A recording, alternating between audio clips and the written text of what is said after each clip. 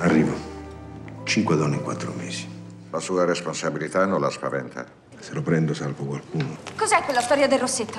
È quasi uguale al suo. Me lo dica lei. Un chirurgo, un macellaio. Sappiamo chi è.